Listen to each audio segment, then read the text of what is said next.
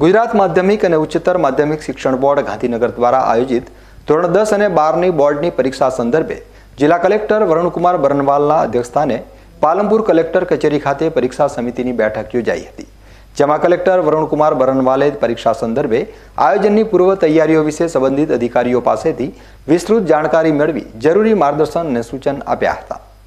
ગુજરાત માધ્યમિક અને ઉચ્ચતર માધ્યમિક શિક્ષણ બોર્ડ ગાંધીનગર દ્વારા ધોરણ દસ અને ધોરણ બારની પરીક્ષાઓ તારીખ અગિયાર ત્રણ બે હજાર ચોવીસથી તારીખ છવ્વીસ ત્રણ બે હજાર ચોવીસ દરમિયાન યોજાનાર છે. પરીક્ષાઓના સુચારુ આયોજન માટે બિલ્ડિંગ કંડક્ટર, ઝોનલ અધિકારી, મદદનીશ ઝોનલ અધિકારી, વહીવટી મદદનીશ અધિકારી, સરકારી પ્રતિનિધિ અને રિઝર્વ કર્મચારીઓના નિમણૂક અને તાલીમ સહિત જરૂરી સૂચના અને માર્ગદર્શન આપી પરીક્ષાલક્ષી તમામ આયોજનને સુનિશ્ચિત કરવામાં આવ્યું છે. પરીક્ષા યોગ્ય વાતાવરણમાં લેવાય તેમજ પરીક્ષાના દિવસે બાળકો ઉપર પરીક્ષાનો ખોટો ભય ઊભો ન થાય બાળકો પરીક્ષાના દિવસે પરીક્ષા સ્થળે હોલ ટિકિટ સાથે પહોંચે.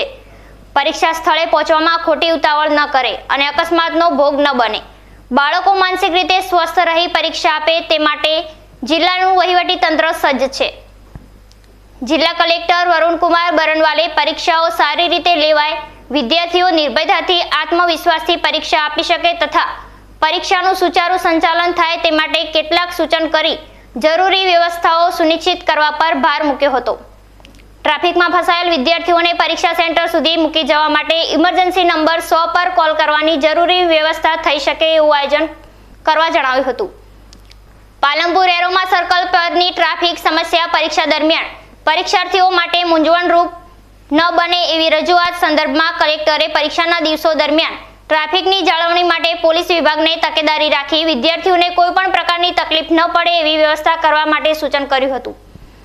પરીક્ષામાં ઉપસ્થિત થનાર તમામ વિદ્યાર્થીઓને તેમજ જિલ્લામાં પરીક્ષાની કામગીરી કરનાર તમામ અધિકારી અને કર્મચારી દ્વારા સુચારુ પરીક્ષા યોજાય તે માટે જિલ્લા વહીવટી તંત્ર તરફથી હાર્દિક શુભકામનાઓ પાઠવી હતી.